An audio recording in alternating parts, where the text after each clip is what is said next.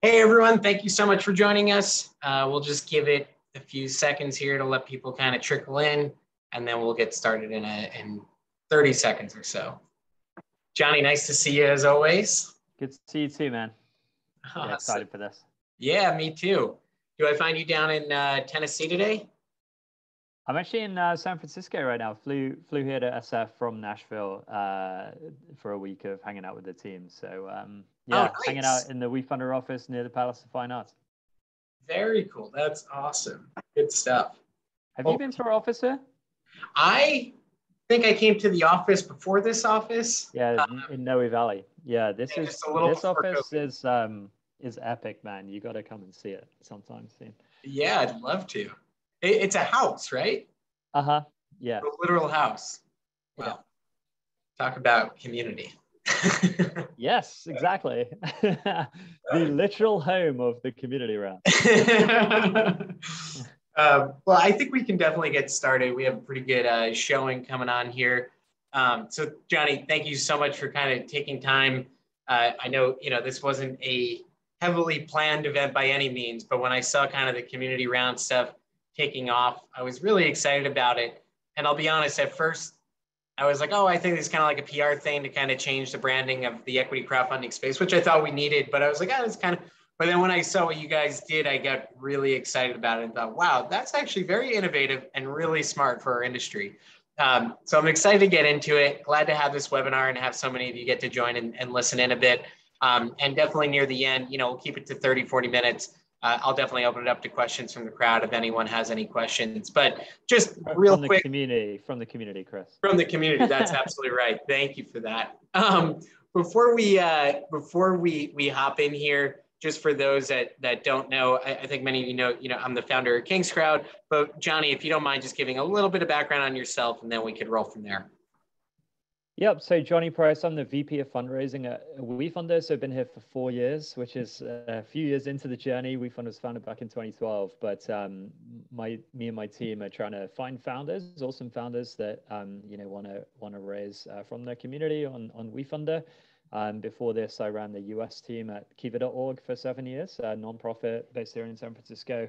Um, and before that, started my career in management consulting um, at Oliver Wyman, uh, I'm from the UK originally, lived in SF for 10 years, um, and a couple of years ago moved to Nashville, where my wife is from. Um, we have three young kids now, so uh, and she's from Nashville, so we're we're back there now um, and uh, having a lot of fun in in Music City. Amazing! That is really really cool. I would definitely visit you in San Francisco, but I think I even more prefer coming to see you in uh, in Music City and checking that out. Yeah. we'll hit the honky tonks of Broadway next time you're in town, man. Uh, that sounds fantastic. So, you know, WeFunder has been very successful in recent years, I'd say, in getting some pretty big names that kind of hop on and do a community round. So the first thing I want to talk to you about, you know, and, and probably the name that many of you know or, or maybe don't know is Mercury Bank last year. They raised over $100 million from Andreessen Horowitz and Coatue and I think maybe one or two other major names, and then came and listed at the same terms uh, on the platform on WeFunder and allowed their community to invest. I think they ended up selling out $5 million in like four seconds. And then it took a while to figure out who was in line and all of those good things, but sold out very, very quickly. So my, my first question for you is just, what have you been doing to excite some of these bigger companies that I think traditionally maybe wouldn't have considered doing a community round to get excited and want to utilize the WeFunder platform? Yeah, I mean, I think the SEC was very instrumental in, in helping make our job a lot easier, right? So, um, as you know, the SEC made some rule changes to regulation crowdfunding, which is the exemption that we use um, to, to allow companies to run community rounds. Um, this exemption was, was rolled out initially in May 2016 as part of the Jobs Act. And then it, the rules for five years were kind of not the best for founders. And so you could only raise a million dollars per year. Um, you couldn't use a special purpose vehicle to roll roll investors to one line on the on the cap table. Um, you know, it, you kind of had to file a Form C before you started started raising money. And so the rule changes that the SEC uh, rolled out in March of 2021 um, then were just basically a lot better for founders. So now you can raise 5 million, we can use an SPV, which is a pretty common instrument in, in early stage fundraising. And then the ability to launch a campaign and, and test in the waters like before you file a Form C and get financials done um, made it just a lot more appealing, I think, to a founder like Immad at, at Mercury. Um, Replit's a, a, really good recent example, Levels. And so, you know, that that just kind of made it made it a lot more interesting to them. And I think like WeFunder is is a company that really I would say is product led. Um, so we are trying to build the best, uh, you know, uh, product and infrastructure, the best investment structure, um, you know, the best kind of checkout flow for investors. And so we really kind of uh, have been iterating a lot on the product over the last decade, really. Um, and and hopefully, if we can deliver a better and better product experience, uh, then you know more more really world class founders are going to say, yeah, this is something I want to do. Um, so that's kind of on the product side and then on the on the positioning side and the community round thing is definitely part of this right um, but uh, it's just trying to communicate this message right that as well as raising from vcs this isn't an either or thing as well as raising from the best uh, vcs in the world also open up part of every round to let your customers and community invest you know partly honestly because that's kind of a good noble thing to do and if you you know are going to build a big business and create wealth for a bunch of people like wouldn't it be awesome to let your customers and community participate in, in that as well as some rich people? But maybe kind of more pragmatically because that is going to accelerate the growth of your company right? Um, because if you recruit this army of thousands of brand ambassadors and thousands of evangelists and loyal customers are going to spend a high share of wallet with you they're going to churn less etc etc and so it's it's kind of the SEC helped uh, with the rules, building a better product, and then communicating kind of firstly that this is a thing, and then why you should do this. And I'm using these kind of two phrases right now, right? One is uh, delight your customers, and two is engage your community, right? And so, show me a startup founder that doesn't want to delight their customers. Everyone wants to do that. You know, one great way to delight your customers, let them get a piece of the action, let them invest in you, right? And then every startup founder wants to build stronger ties among their community right? And what an awesome way to do that is to let your community invest um, in your company. So sorry long-winded answer but oh uh, no absolutely.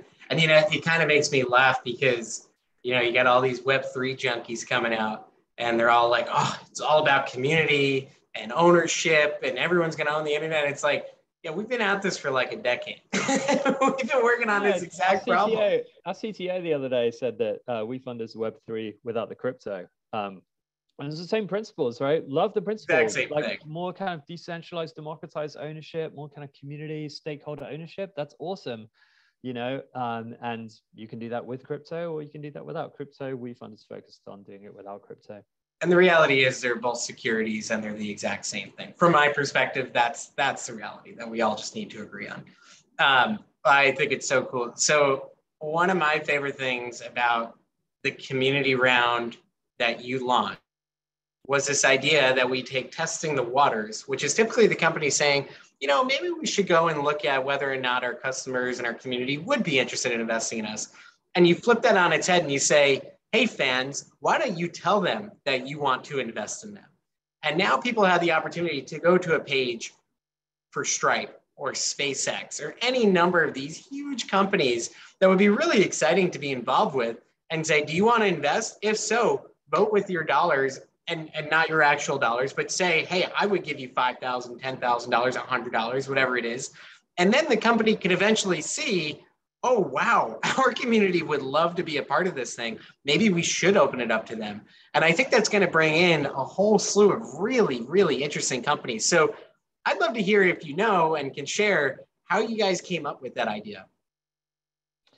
Yeah definitely not my idea. Much smarter people in the team than me. Um, I, I think this was an idea that our ceo had maybe nick tommarello um, who is you know very kind of close to all aspects of WeFunder's product. Um, it may have been an engineer on the team, I'm not sure, Um, but yeah, I mean, you know, a big part of the challenge, as you know, with what we're doing in this industry right now is trying to get the word out, right?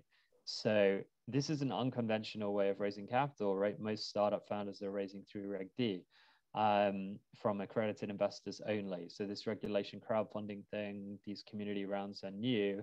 And so a big part of the challenge is education.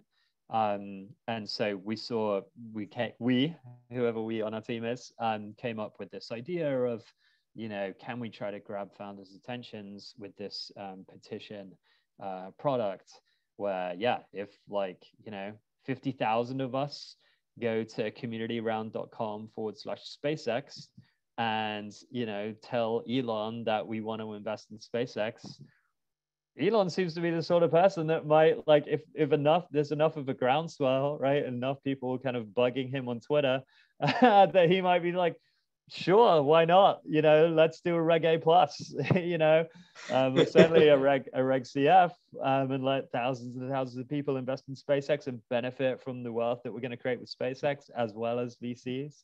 Um, just because you know uh, he um, he seems like a guy that is you know for the people and of the people. Um, so so this idea is a way of basically getting the word out about community rounds, getting founders' attention and enabling you know so so their customers that really love the product and would love to invest they don't need to wait until the founder decides to do it. They can try to accelerate this and they can have more agency and you know kind of demanding this like uh, investment in this company that they're a huge fan of and would love to would love to be a part of. I, love that. And i do think that at the end of the day every good entrepreneur uh, recognizes that capital is a commodity and if they realize, or maybe they just weren't thinking about it before, you just think the only path is the traditional path. But if you look over here and you go, wait a second, there's 3,000 of our customers who want to give us $20 million. Maybe we should explore how this whole thing works. that sounds I pretty good to me. I'm going to push back a little. I'm curious to, to understand what you mean by that. Um, I always saw capital as less of a commodity and like th- there is value that like, I remember one example is like when Andreessen, um, I think Andreessen set up um, Elon interviewing Vlad on uh, on uh, Crunchbase. Uh, yeah. Not not Crunchbase, um, Clubhouse, uh, around the kind of Robinhood uh, GameStop thing, and like that, I I think Andreessen like basically set that conversation up, which drove like a ton of users acquisition for um for Clubhouse, right? As as one example, right? Um, and so, and my vision for WeFunder during community rounds is like in a different direction. The capital we provide is not a commodity, right? But like, sure, and and for for Mercury, right? They didn't need the five million. They raised the 120 million Series B, as you said. You know, for them, it, it wasn't about like, oh, we need this five million. It was actually, you know, we think it's going to be really good for our business to let thousands of our customers and they only opened it up to their customers. But if you're a Mercury customer, you get to invest in us. And so then it's actually less about the capital as a kind of undifferentiated commodity. It's more like actually this capital is is awesome and valuable and different to other capital because the, the differentiator with with community rounds is you recruit this army of even more now passionate they already loved the product um, to the extent that they believed in it and wanted to invest in it. But now they love it even more. Now they're going to tell more people about it. Um, and so for me, like I, our hope is, and we've got a long way to go, right? And there's many really cool product features that we're working on that are going to be rolled out over the coming years, um, months and years. But it's like, you know, that's the vision is how can we do more and more to say when you raise a million dollars and we fund it from a thousand people, average investments a thousand bucks now this army of a thousand people can do really cool things for you. Vampr is a company that raised on WeFunder, V-A-M-P-R.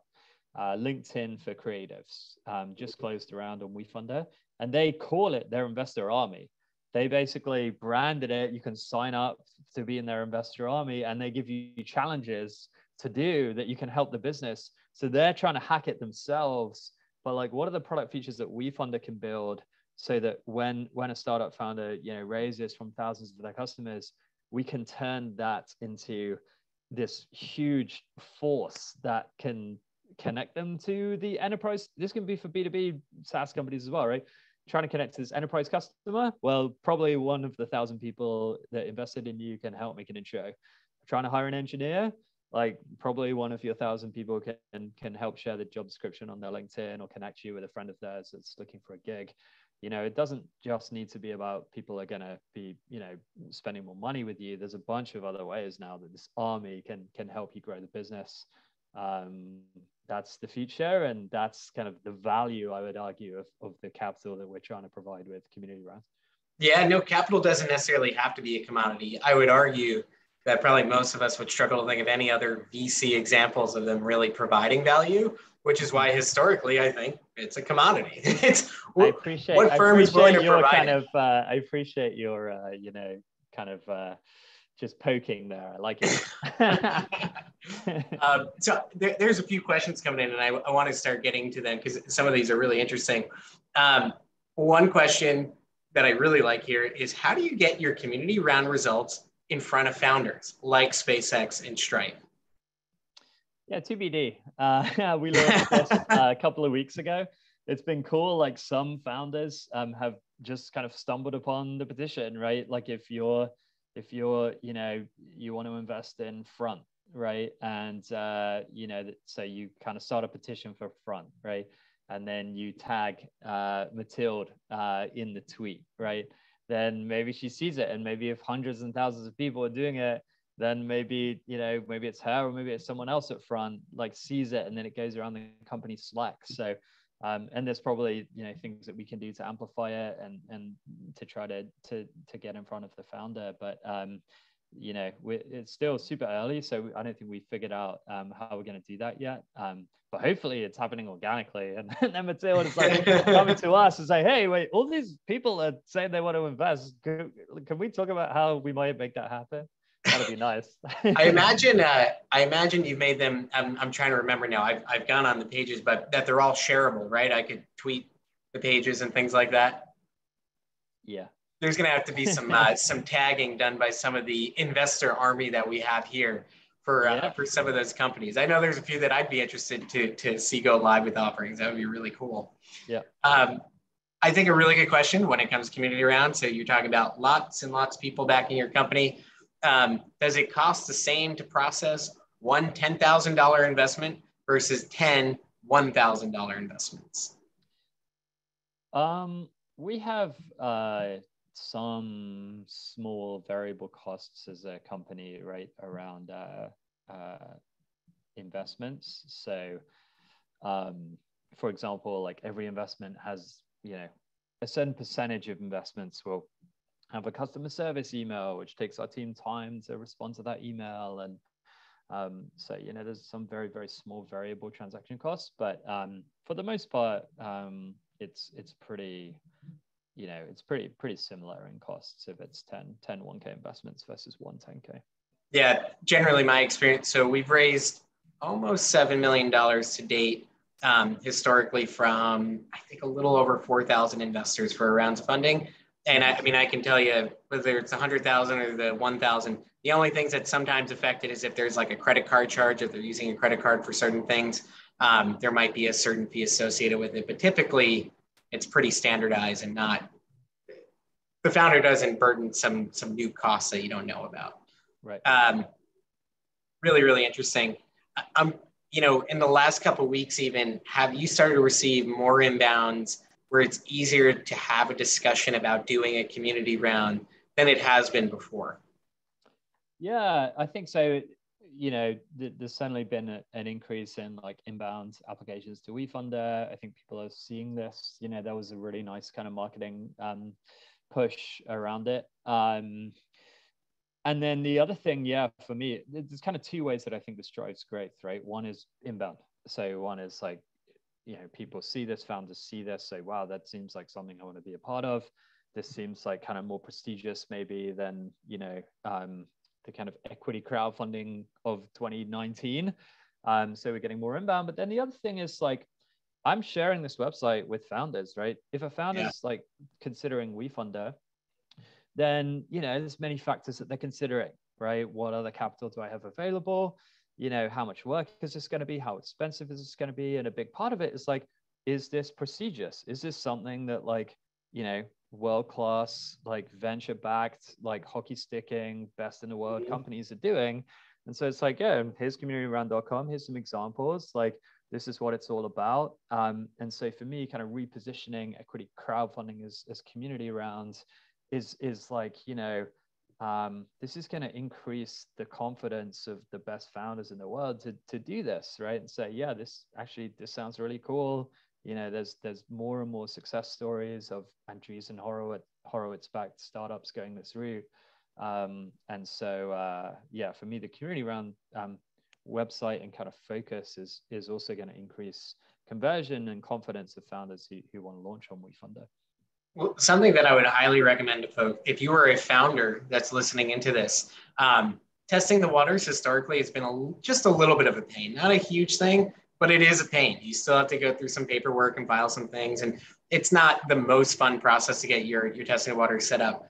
WeFunder has now done all the work for you. So if you are a company look up your community round page.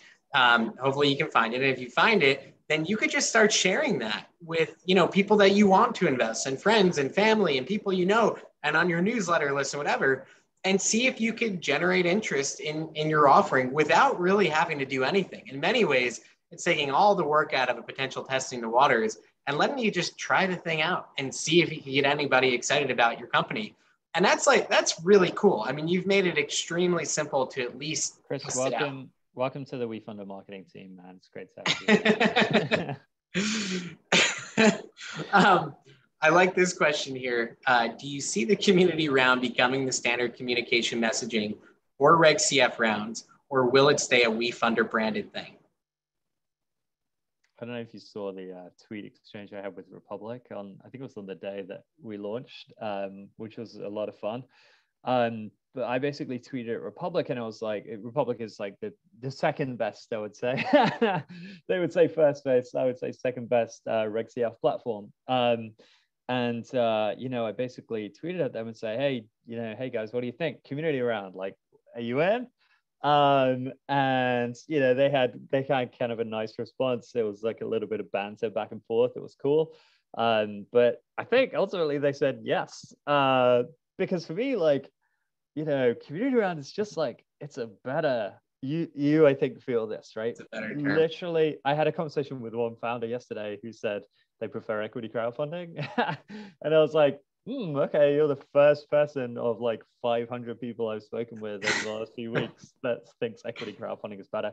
It just, you know, VCs, angels, founders, everyone uh, is just like, oh yeah, that sounds so much better. So our assumption is that um, our competitors will will start using this term as well. Um, we we hope they do. Like this, I really do think this is a rising tide floats all boats thing. Um, honestly like either way works for me. If if you know Republic and StartEngine embrace community round great. I think that's better for the industry. If they kind of stick with equity crowdfunding then i, I think uh, i'll be honest with you jonny. I don't think anyone is stuck with equity crowdfunding. I think we've all just moved to either set so when the platforms approach us i think the way that they just put it is uh, do you want to raise money online from your fans and that kind of stuff? Um, and I've always defined, not always, but I've defined the last year and a half or two as online private markets because it did become such a bad term. Equity crowdfunding, it didn't have its crazy debut and people just wanted to write it off. And that that's simply not true, but that's the connotation it had. So community round, I think, is a really clean Web3-esque way of talking about what we've been building for years, which is really, really cool. Um, and do know that, you know, something we're exploring and are excited by the idea of is eventually being able on KingsCrowd along every live raise is to be able to track these, these um, uh, community round raises where you know the, the testing the waters um, so that we can show people where there's interest in the market and, and hopefully help the industry as a whole if, if that's even more transpa- transparent and people can kind of follow that. So uh, hmm. we're, we're certainly excited about that. Um, you had an amazing week last week. Tell us about some of the raises that went live and, and obviously must have filled up because i think we had the best week under regulation crowdfunding maybe in the history of regulation crowdfunding. We have over 40 million already raised for the month of april I'd imagine this ends up becoming the historically largest month in the history of Reg CF at 60 million, maybe. Um, so tell us a little bit about last week and, and how things went. Yeah, it was awesome. Uh, the the week of the launch was our biggest ever week. Um, I asked I asked Howie on your team if uh, we if this was the biggest week ever for XCF, and sadly March fifteenth uh, pip, pipped it out. By the way, did you know that uh, the community round launch um, was on the ten year anniversary of uh, of uh, the Jobs Act? Yep, pretty cool. I sure did. um, pretty cool symmetry. Um, but uh, yeah, so I was hoping that that week would be the biggest ever week, but March 15th when the new laws uh, went live, and I think uh, you know it's just by hair. It was just by hair, but in, yeah, it was actually the biggest week I believe for any platform. So um, both in March 15th, both WeFunder and Republic had really big weeks. Um, last week uh, we had a really really big week. Um, and so I think it was the most by any platform in any given week, um, which is cool. Um, and then yeah april i mean for us this is already the biggest month we've ever had and we're 19 days into it shout out to my mom it's her birthday today uh, april 19th um, but yeah so we still got like a third of the month left and already it's our biggest month um, and a lot of campaigns are closing over the next 10 days um, so that usually you know the deadline and the countdown there usually drives a bunch of investments so yep. it's going to be a really really exciting month and hopefully we can kind of you know continue to springboard that into in may june later this year I like this question that came through. Um, how is community round data vetted? How does a company know the percentage of people who say they will invest will actually follow through? That's a great question. I would say honestly, not very well. Like I think there'll be a very, very high drop off rate.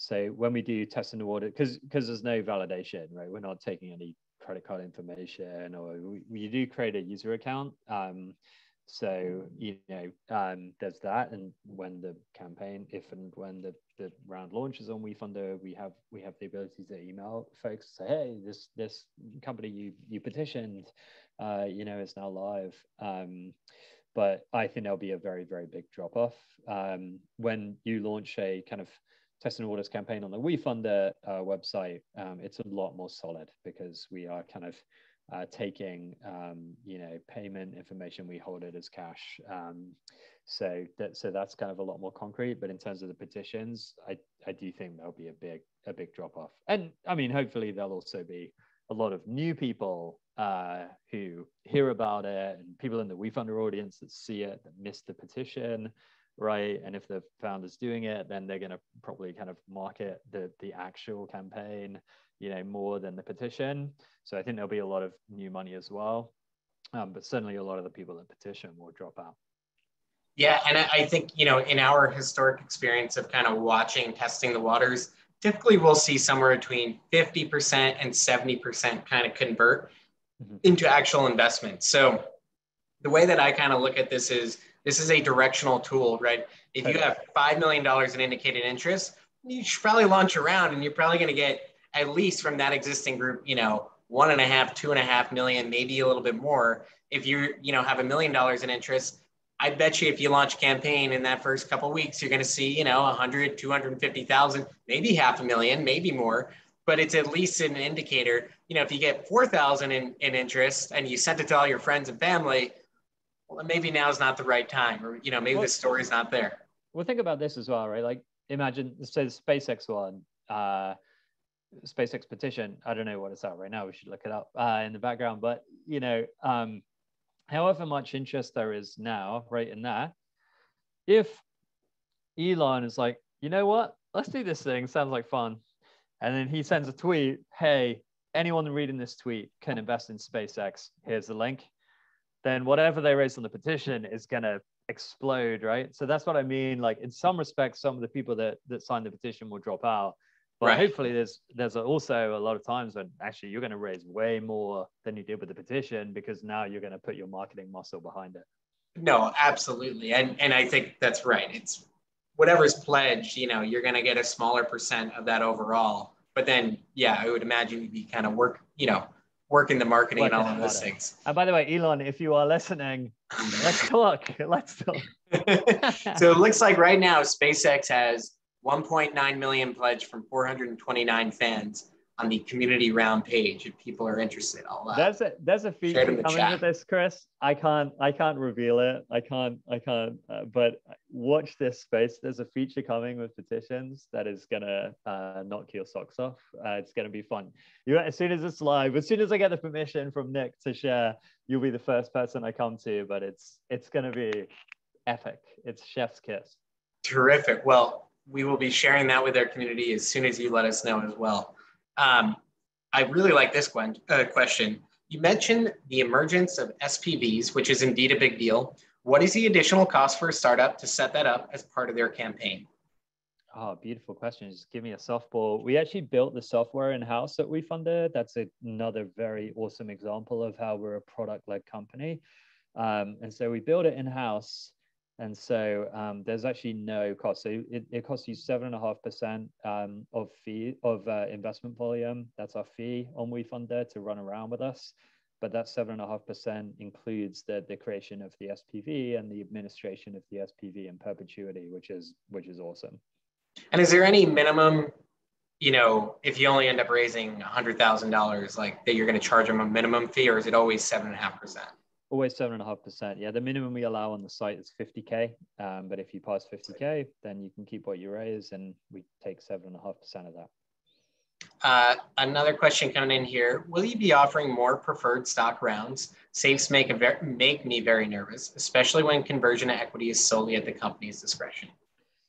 Yep. Um, we probably have about a third, a third, a third split between uh, safes, convertible notes, and price rounds. Um, you know, our perspective is if you're a super early stage company, um, usually a convertible equity contract to say for a convertible note, just simpler, it's easier. You don't have to worry about paying a lawyer significant amount to, to put together a subscription agreement. Um, we do like preferred stock versus common stock when we do subscription agreements. But at the end of the day, our perspective on WeFunder is like we, we want to kind of find the contract that works for founders and investors. And our mechanism for trying to protect investors is, or one of one of I think a really valuable one is that we have this lead investor feature where every company on WeFunder has a lead investor. And typically they're putting in 5% of the round, something like that. It doesn't need to be that much. But then if a company is raising a million dollars, there's someone who's putting in 50K.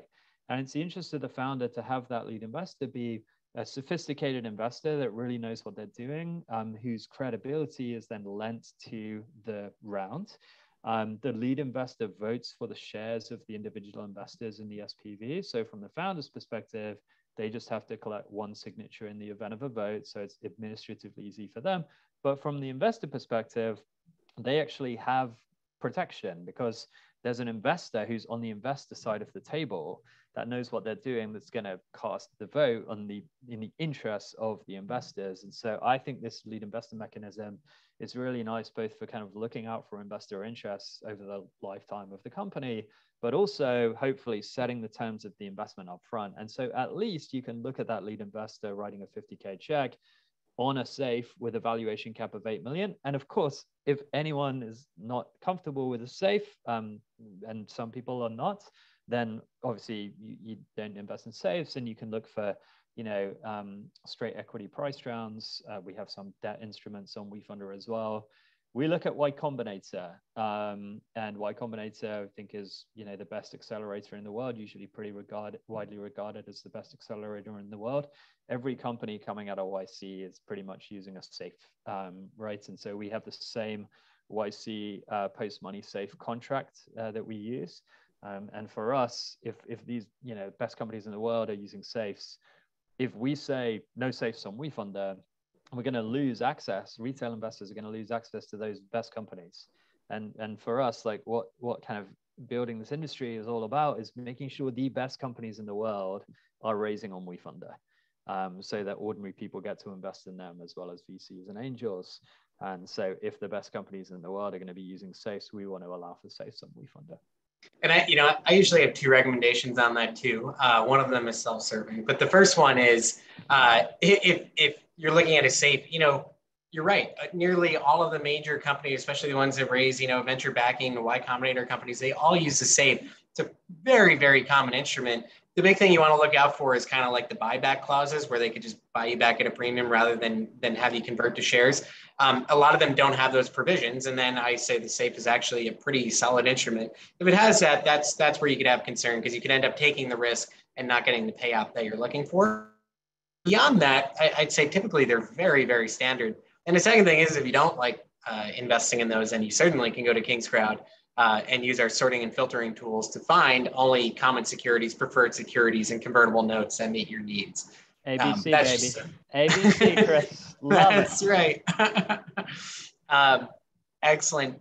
By the way, just to, just want to, Chris was the marketing team for for WeFunder before, so just to be the marketing team for KingsCrowd, super appreciate you and all the team. We've said this uh, on our podcast the other day, like just you know we need more people like you kind of building this industry right? The tools to allow investors to make decisions the bloomberg of the private markets like it's it's really cool. And you you've caught the vision super early um, and it's been awesome to see how you guys have grown and worked together you know over the last few years and hopefully going forward as well. But um, yeah, and, and as long as you keep keep showing WeFunder at the top of the leaderboard, I'll keep uh, tweeting out the market share market share stats.